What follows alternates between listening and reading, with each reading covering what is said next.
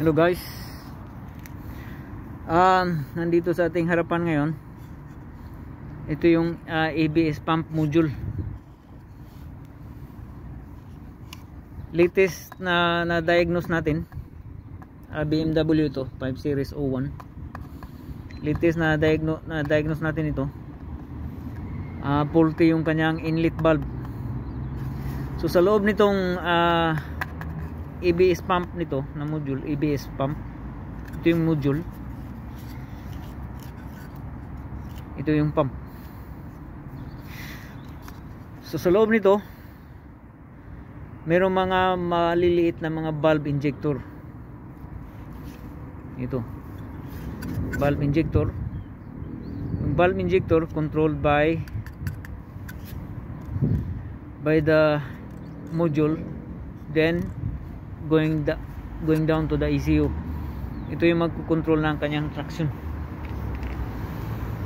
So pinalitan natin kasi uh, inlet valve uh, faulty one of these na diagnose natin. So pinalitan natin ngayon dito. Ito na yung uh, pinalit natin. So sa kasalukuyan uh, binibleed out natin. Bleeding tayo. Kaso nagkulang tayo sa brake fluid so nagpatakbo pa tayo ng brake fluid. Para makakuha tayo ng pangdagdag na brake fluid. So undawin na yung bibili. Papunta na dito. So uh, yung pinaka last na bleed out natin is uh, driver side front. Kung magbi-bleeding kayo ng uh, mga brake lines guys uunahin nyo yung pinakamalayo. Unahin yung pinakamalayo. Tapos siyempre yung pinakamalayo dun sa rear. Rear left side. Or right side. Kung right hand drive or left hand drive kayo sa rear. Ang unahin ninyo na blade. Tapos sa front uh, passenger side ang pinaka last is driver side front ito na ngayon yung pinakalas natin. So ito yung nakukuha natin ng mga fluid.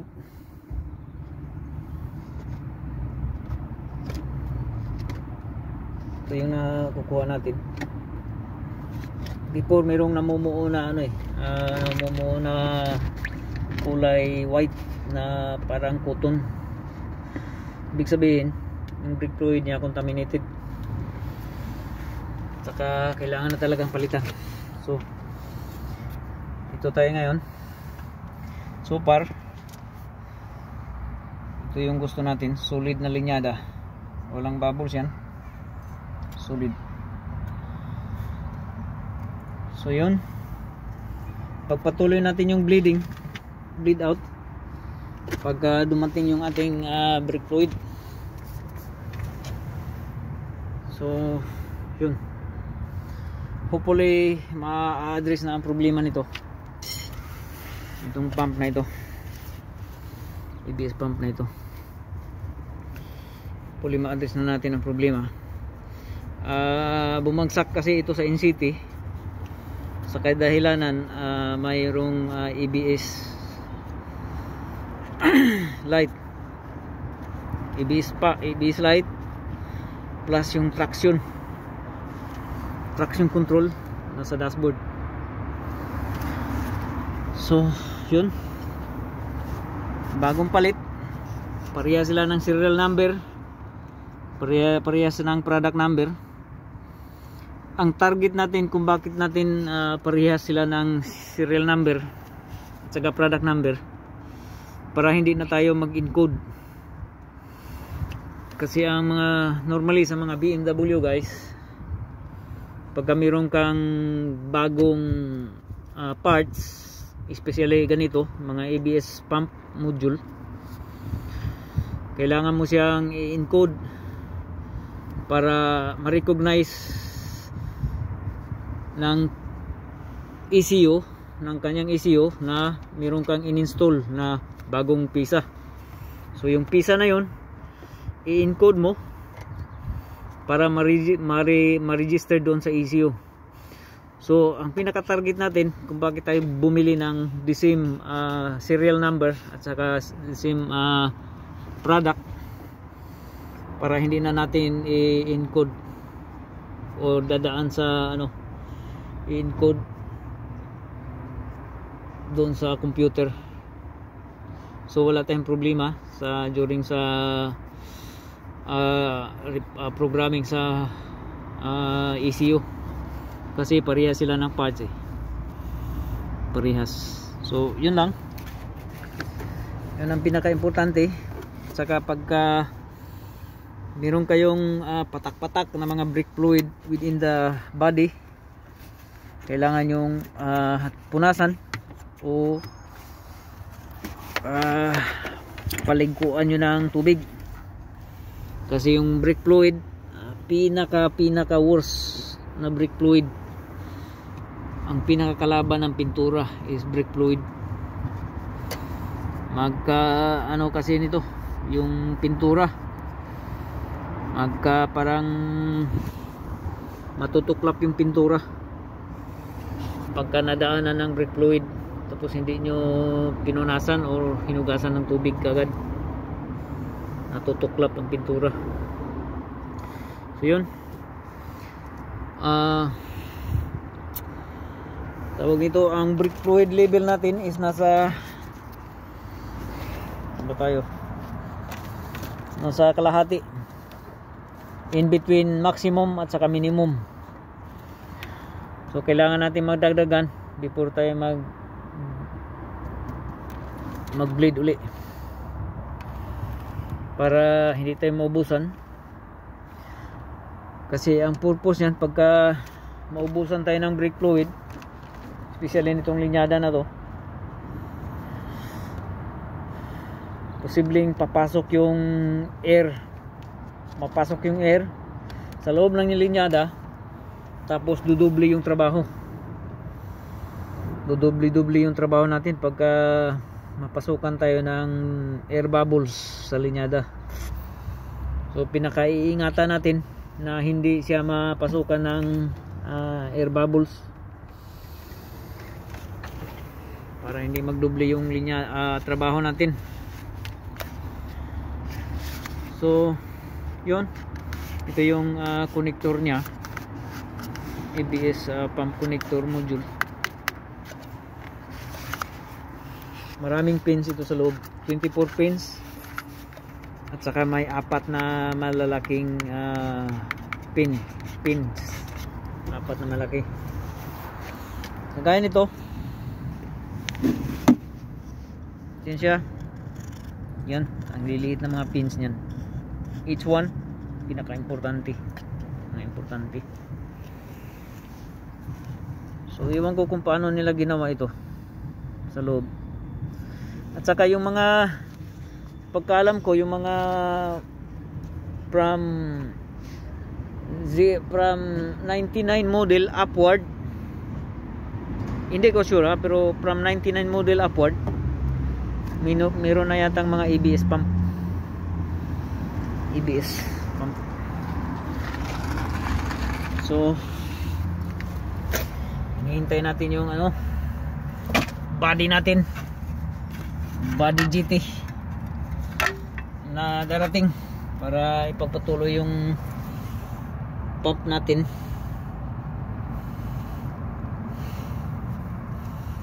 So yun.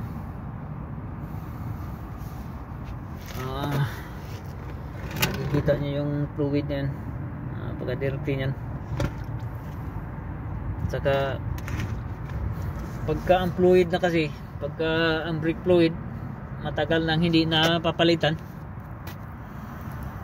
uh, more or less 2 uh, to 3 years. Parang ma, parang ano na yan parang tubig na rin. Parang magtutub parang tubig na siya.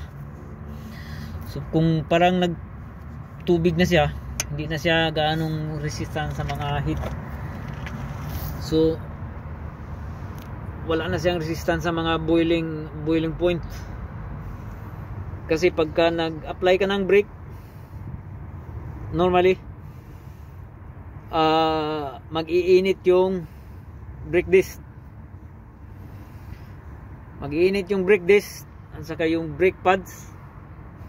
Mag-iinit yung brake disc at saka yung init niya mag-transfer doon sa kanyang piston caliper. Yung piston caliper ngayon uh, sa loob niyan yung piston caliper yung piston ang fluid ang nagpupush nung sa piston tapos mag-contact ito ng uh, init. So pagka super hot na talaga super init na yung ano uh, brake brake disc at saka yung piston caliper super init na. Piston. So, dyan na magka litsi-litsi yung ano. Uh, uh, braking system. Magbo-boiling point na siya so normally meron talagang masisira. Merong mag-seize si piston caliper lalo na pagka manipis na yung brake pad ninyo magsisis yan si piston caliper. So ang pinaka worst scenario nan bibili kayo ng caliper ngayon which is super mahal. Uh, so para na, para maiwasan natin ang mga ganyang scenario uh, ugaliin natin magpalit ng ano brake fluid. Maximum 2 years. 1 year to 2 years maximum. Ugaliin natin magpalit. Kung hindi kayo marunong i-PM nyo ako tawagan nyo ako uh, find me on my facebook page. At saka sa facebook page ko Christopher Pipito. Below merong link ng aking youtube channel. Pakiclick nyo na rin. Uh, pakisubscribe nyo na rin. So yan guys. Akala natin kasi uh, normal lang na ano uh, brake yan. Lifetime na brake fluid no? Ang brake fluid po ay hindi lifetime. Uh, serviceable po ito. Maximum 2 years. Serviceable po ito ang brake fluid. Uh, kasi nag-iinit po itong brake fluid. Pagka super init na talaga siya so maging ano na siya ah uh, ma-reach na yung pinaka may mga boiling point din itong uh, brake fluid. Sa pagkaalam ko yung DAT4 DAT4 ang pinaka highest na mga uh, brake fluid sa boiling point lang ha. DAT4 depende din sa mga sasakyan. Meron ding sasakyan na ang tatanggapin is yung DAT3 pero sa mga high performance sasakyan sa alam ko uh, sa opinion ko is DAT4 DAT4 lang talaga yung mga ano pero ito ngayon, sinuggest ko na ano, dot 4 papalit natin. Fluid. Since na BMW ito. So ang BMW guys, ma-RT. Super RT at saka masilan. Masilan sa pisa, masilan sa mga fluid. Lahat. Lahat na kaartihan. Nasa ano, uh, ah, BMW so kailangan natin ma-maintain para super shape siya. So titingnan natin kung uh, mawala itong kanyang uh,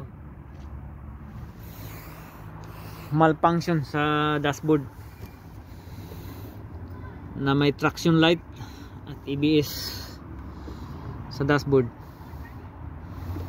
So ang first option ko opinion ko is palitan ng bago yung ABS pump ABS module, ABS pump yun. So sana ma-address natin yun. Ah tagal-tagal pala yata yung ano tagalan pa yata tayo. Ah, naglakad lang kasi yun siya kasi malapit lang naman yung ano ah, shop.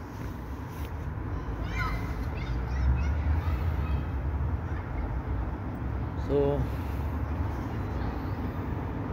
ah, tawag nito?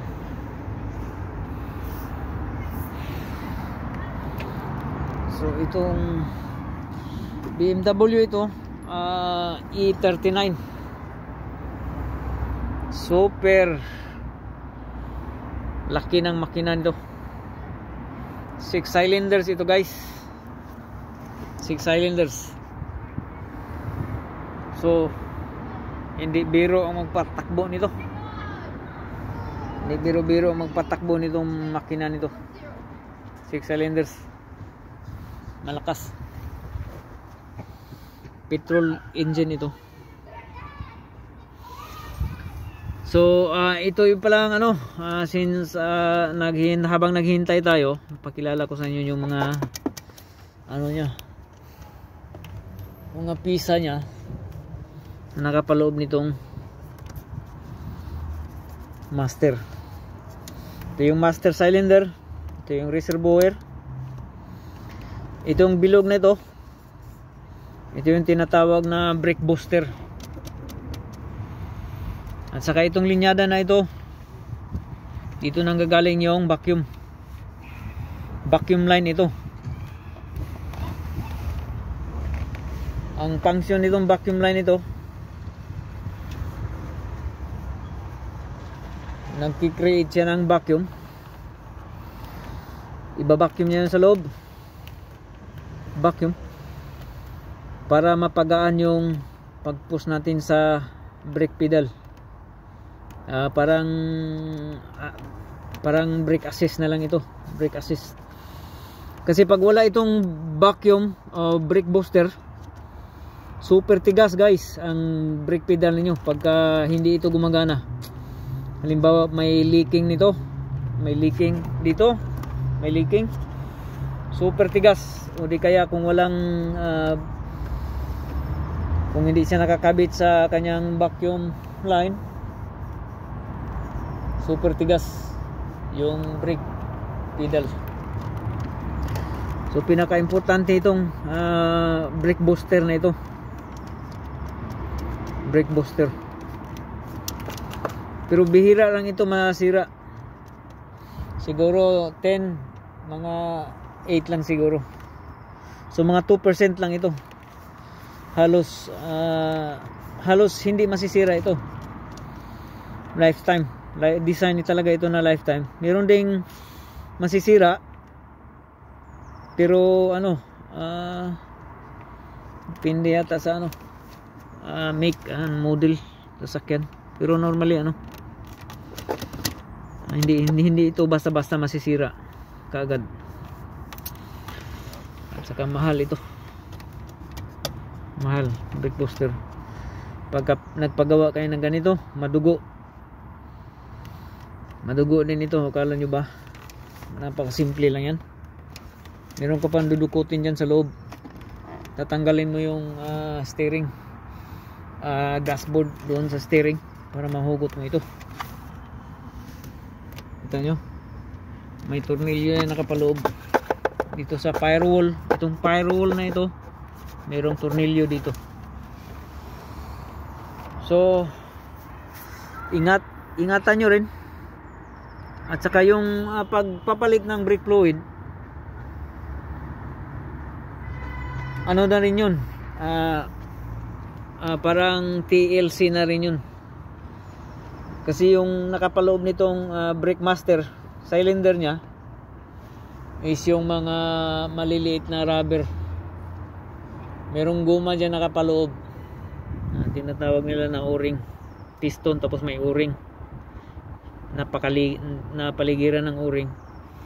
Sa yung magpapump ng fluid. So kung contaminated yung brake fluid saka medyo tubig na masisira yung kanyang ano rubber sa loob. So yan ang dahilan na kailangan natin ng magpalit ng ano brake fluid. Gawin nating habit every 2 years or 1 year brake fluid change. Tinatawag na flush brake fluid flush para kita nyo lagyan pa talaga ng sticker kasi yung iba nito yung module lang yung kinukuha eh. Module.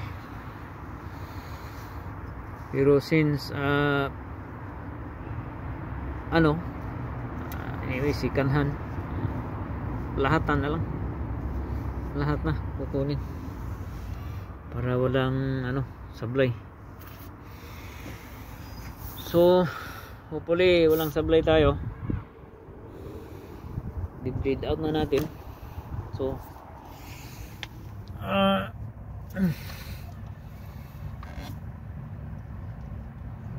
ito try pump natin sa loob.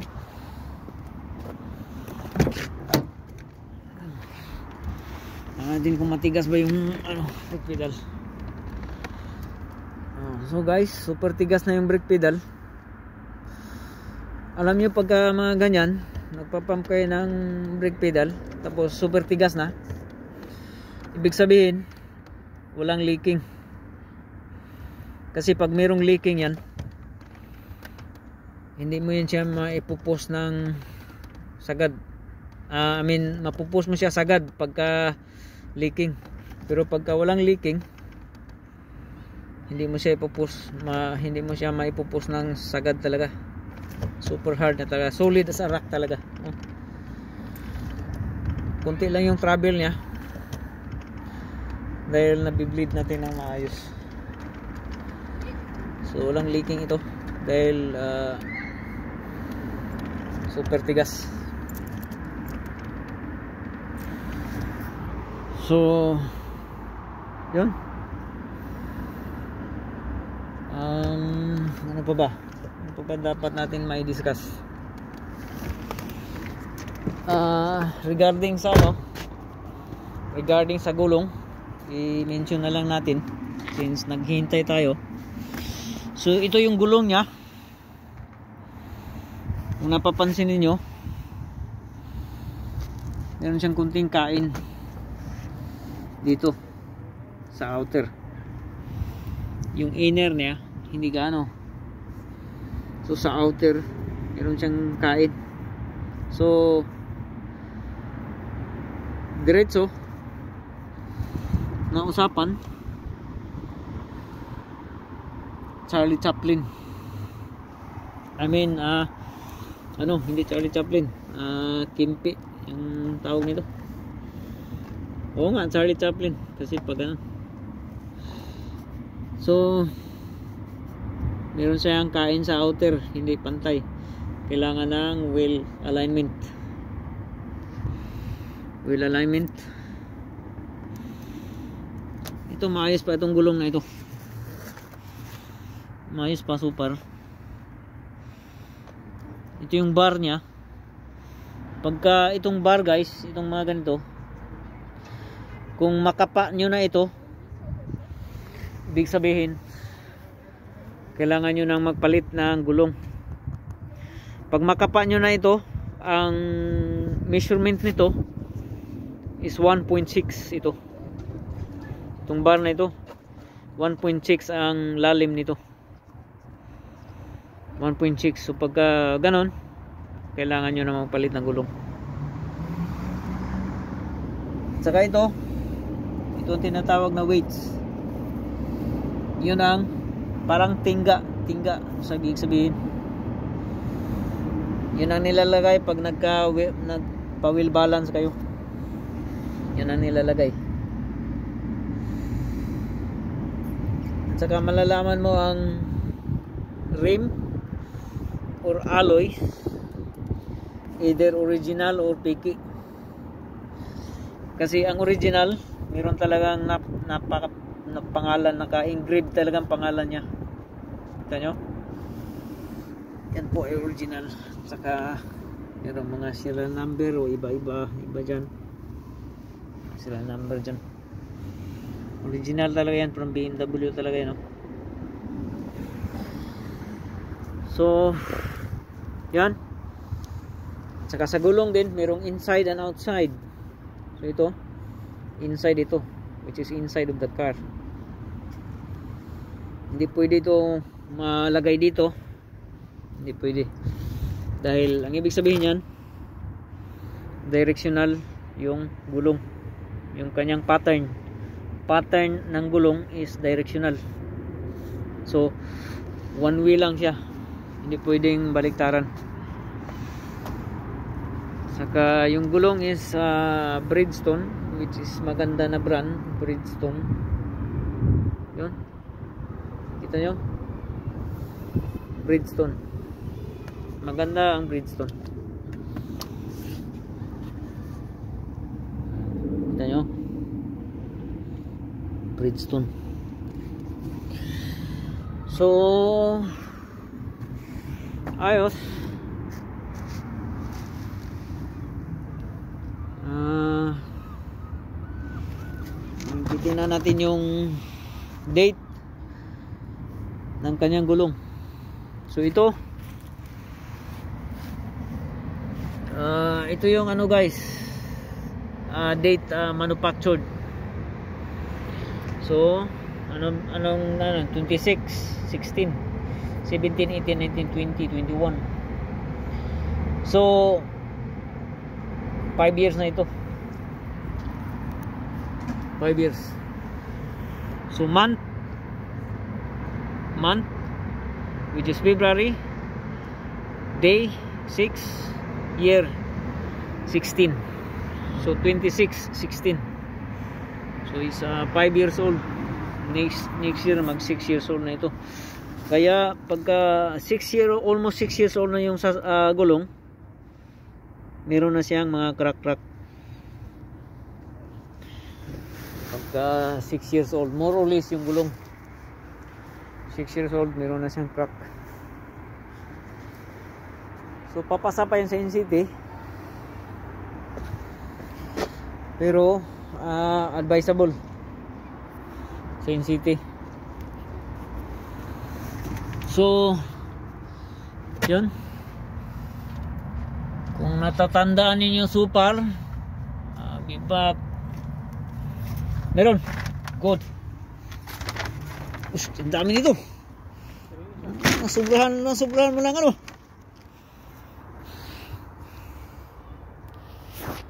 Okay.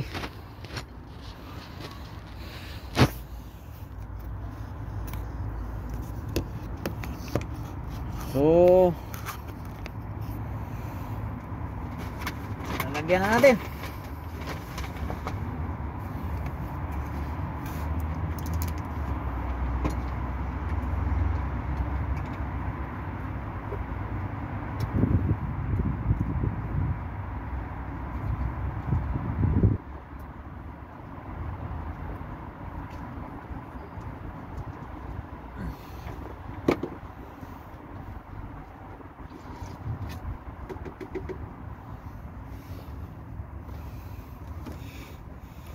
So, pwede ka na pumasok sa loob ulit.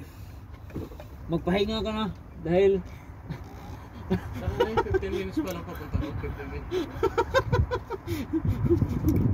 bakit inurasan mo pa talaga? Sabi sa ano yung map, 15 minutes.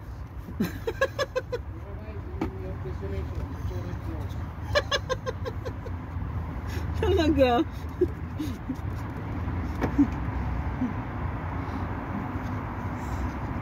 So, matagal man sila mag-close dyan. Ang silid nita. Ha? Nasa is ba? Sabi?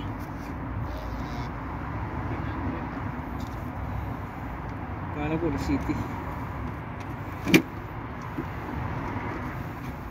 Okay. Ang maganda is nakabili tayo. Di ba? Yun ang pinakapunto natin. Para malalaman natin kung gumagana yung system niya. Okay? So,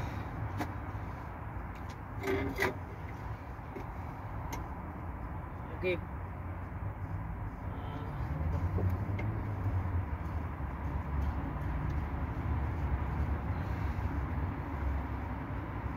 Ah.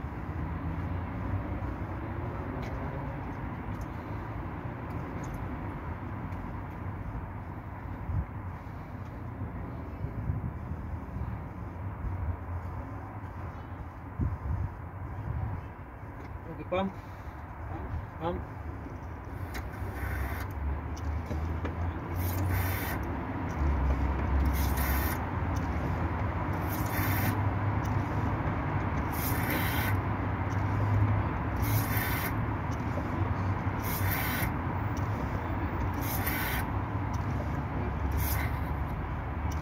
Sagad na, sagad.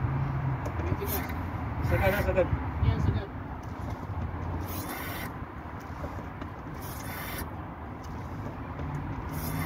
Okay, bitaw.